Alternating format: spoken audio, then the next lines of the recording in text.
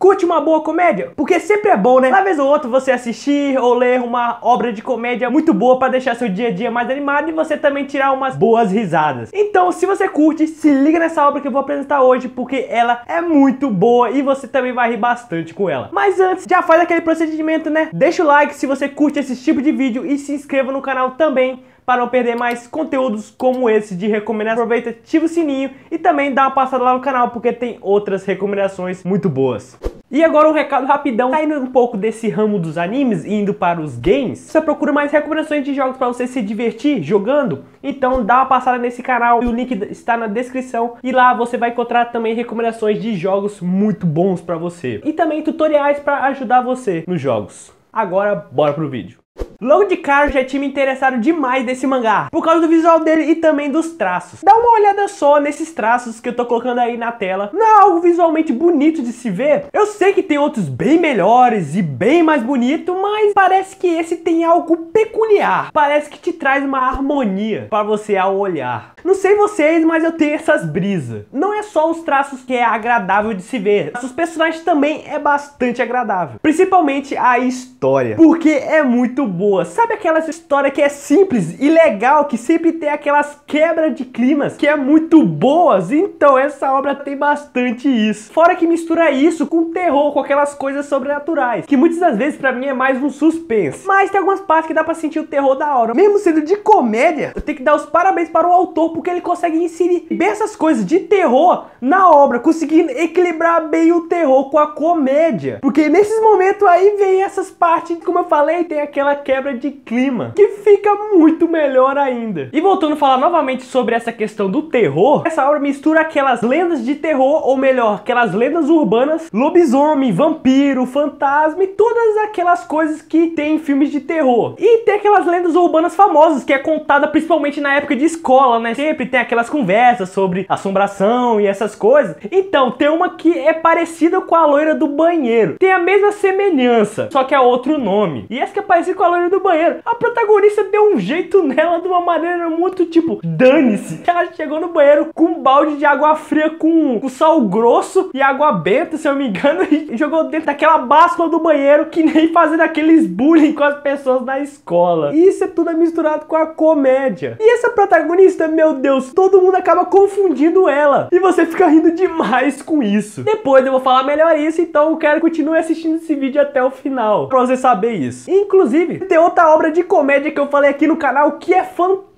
que se você gosta de comédia, você não pode deixar de ler ela. Se você quiser saber mais sobre ela, só o card aqui em cima que vai pro vídeo, porque você não pode deixar de conhecer essa obra. Você não vai parar de rir com ela. Voltando a falar dessa obra, então, sabe essa série famosa? Que por sinal é muito bom? Então, tem esses dois que são irmãos, eles são caçadores e usam aquelas táticas tradicionais para caçar monstro, que é bala de prata, água benta, sal grosso e etc. Mas isso é para os fracos. Tem que ser que nem Jujutsu Kaisen, que eles exorcistas a base da porrada. Então ela também faz isso e também usa aquelas coisas tradicionais. Mas ela também oprime os fantasmas e também faz bullying com eles. Fora que xinga eles, que eu rio demais com isso. Ela fez esse fantasma virar a empregada dela, ou melhor, virar a cozinheira dela. E às vezes quando ela faz alguma coisa errada ou fala coisa que não devia, ela começa a bater no fantasma e xingar ele. Que na moral, ela é muito louca. E isso tudo acaba ficando melhor ainda, porque acaba combinando a personalidade dela com o visual dela. Porque olhando para essa protagonista chamada Reina Suzuno, você vê que ela parece com aquelas gals de animes, que são garotas delinquentes que muitas das vezes acaba sendo representada por mulheres com cabelo pintado, colorido, vamos dizer assim. E de fato, ela aparece com essas gals. E a história começa com ela sendo transferida de uma escola para outra. E todos acabam interpretando ela como se fosse uma garota garota delinquente, ela aparece e também ela não colabora com isso, por causa que logo de cara começa a xingar essa garota, vandaliza a mesa dela e chega até jogar a mesa dela fora. E também ela fica encarando ela e quando ela chega perto da protagonista, fala que ela fede e também fica chamando ela de feia. Não só ela, também faz isso com as outras garotas. Eu acho muito engraçado isso porque ela sempre fica com a cara séria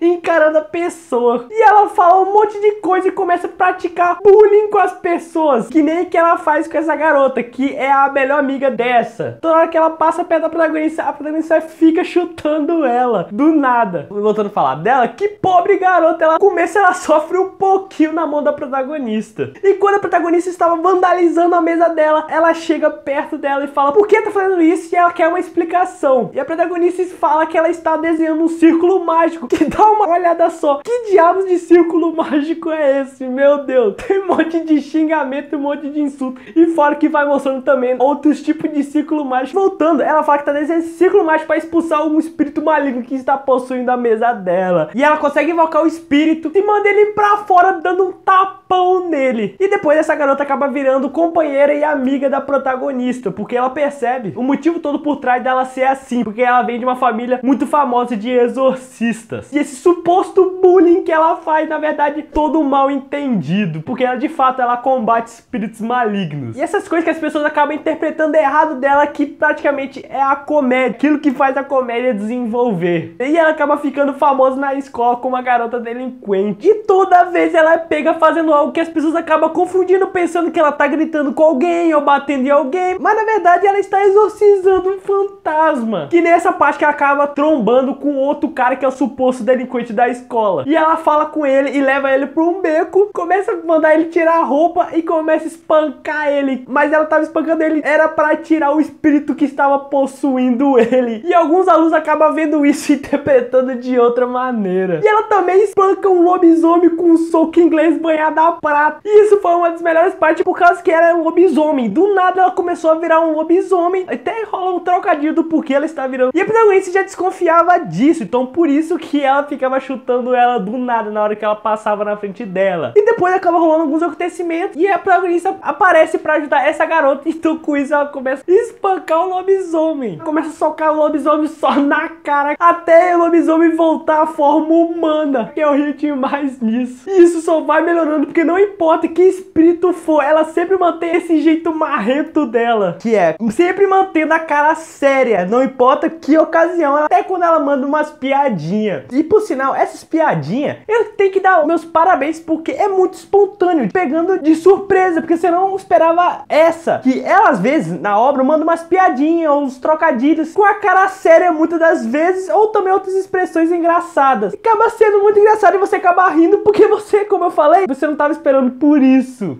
Depois acaba arrumando companheiros que perceberam qual era o lado verdadeiro dela, que aquilo tudo é sempre era um mal entendido. Que nessa garota que eu tinha falado que foi a primeira a sofrer, que nem na madrugada, que ela tava conversando com a amiga dela no telefone e a amiga dela conta sobre uma lenda urbana, que você recebe uma chamada desconhecida, tal, essas coisas bem coisas mesmo de lendas urbanas. E depois ela recebe essa chamada de noite e ela atende, vê que é uma voz misteriosa mandando ir na porta e cada vez mais essa voz piorando. E também começou a bater na porta, cada vez também piorando. E ela assustada, não aguentando isso, foi na porta, abriu e percebeu que era a protagonista que tava na porta. E o motivo disso é porque a protagonista tava andando na rua à noite e viu um fantasma. E ela botou o fantasma para correr de medo, foi seguindo ele até chegou na casa dela. E o fantasma estava batendo na porta dela, era de medo da protagonista. Você vê o nível dela botando até o fantasma para correr de medo. E essa questão dos fantasmas, dos monstros, do suspense mesmo e do terror, o ator consegue passar bem isso. Apesar de ser de comédia, mas retirando essa comédia, você vê que essa coisa toda o autor consegue trabalhar bem nisso. Fica bastante legal isso na história. Só que sempre vem aquele meio do terror, aquele quebra de clima muito engraçado que você ri demais. Ou acha também bem bizarro. Como essa cena desse cara, que o espírito possuiu ele e ele começou a andar de madrugada assustando os outros, só que cantando, dançando vestido de mulher, assustando todo mundo que passa. Foi bizarro demais. Fora a cara dela e das amigas dela chocada. E ele também acaba virando companheiro da protagonista, porque ele descobre que esse espírito possuído dele era da falecida irmã dele. E a protagonista ajuda ele a fazer a irmã dele descansar em paz e ele acaba virando também amigo dela. E um outro espírito que eu tenho que falar aqui é esse, que se você é o cara que manja das coisas, pode sentir uma certa semelhança dele com uma outra coisa que não é melhor nem falar o que coisa é essa. Cara, esse espírito é bizarro demais. E ele é um tremendo de um trap chotacon. Até a protagonista fala isso. Se você não sabe o que, que é isso, é melhor ficar nem sabendo. Fica por aí mesmo. Esse espírito atormentava esse pro professor desde a infância dele. Que é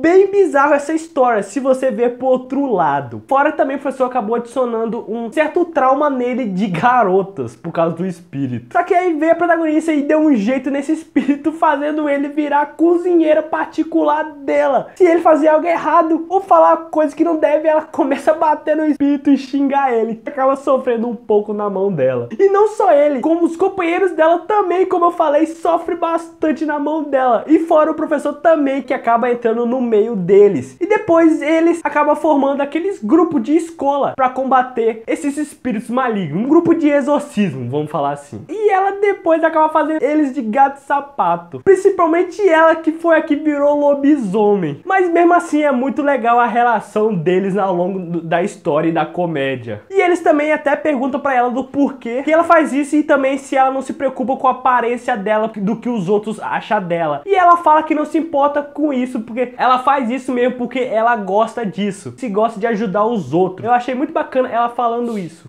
Então se você curte uma comédia e nunca ouviu falar dessa obra ou nunca chegou a ler, não perde tempo, corre lá e ler, porque tenho certeza que você vai gostar bastante. Eu vou falar coisas que esse mangá também tem aquela famosa cena da praia. Muito obrigado, não se esqueça de deixar o like, se inscrever no canal, também dá uma passada lá que você vai ver outras recomendações muito bacanas. E obrigado novamente e até o próximo vídeo.